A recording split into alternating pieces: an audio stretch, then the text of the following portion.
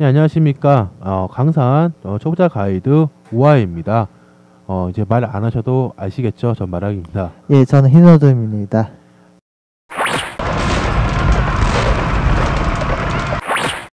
예, 이번 5화에는 장군을 들고 나왔습니다. 장군이라고 하면은 병사를 몰고 전투를 하는 어, 영웅 개념이죠. 예, 다양한 등급과 예, 다양한 스탯을 가지고 있고요. 어, 또 아이템을 착용해서 어, 더욱더 강해질 수가 있습니다. 어, 그러면은 어떻게 고용하는지 알아볼까요?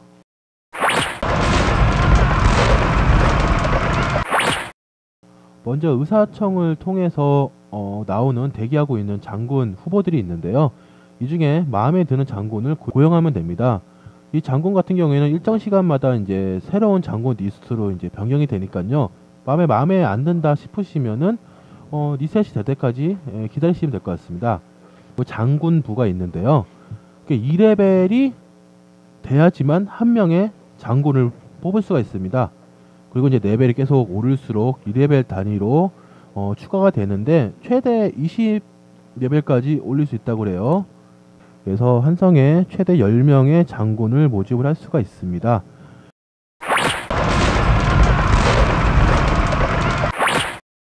이 장군에는 등급이 있는데요. 등급에 대해서 좀 알려주세요. 예, 장군은 총 5단계로 나눠져 있습니다.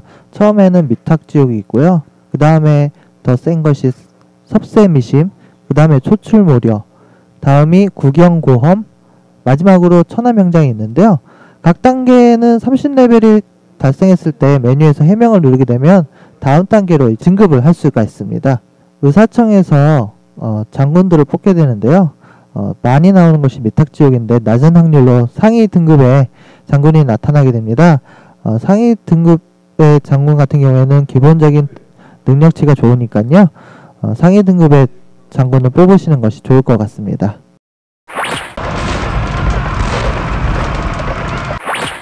장군이 갖고 있는 어, 스탯이 있는데요. 이 스탯에 따라서 장군의 기본 능력치가 어, 변경이 됩니다.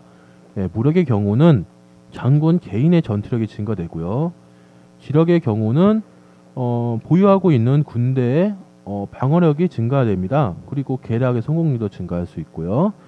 체력의 경우는 장군 혼자의 체력이고요. 어, 견인의 경우에도 역시 장군 혼자만의 방어력입니다.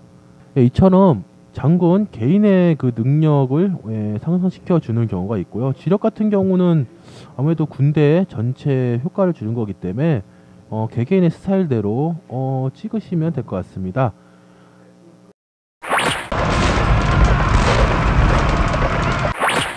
천자가 있는데요.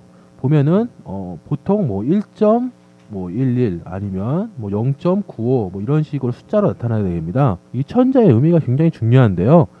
예를 들어서 이제 무력을 1을 올렸을 때 어, 공격력이 10이 증가된다고 예를 들면은 만약 천자가 0.9다라고 하면은 100%가 아닌 90%의 어, 공격력만 증가하게 됩니다.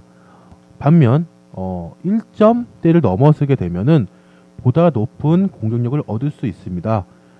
어, 이 같은 경우는 장군의 등급이 아무리 높아도 천자가 0점대로 떨어지게 되면은 아무래도 고용하는데 어, 좀 망설이게 되겠죠.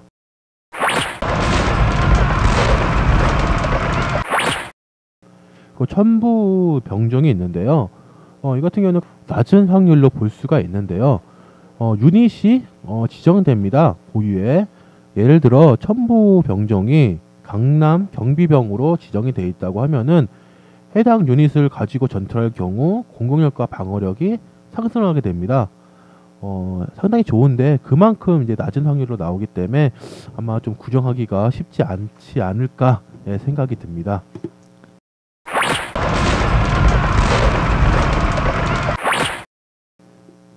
예, 해고 방법은 장군청에서 장군 관리에서 유배 면직을 하게 되면은 해고가 가능합니다.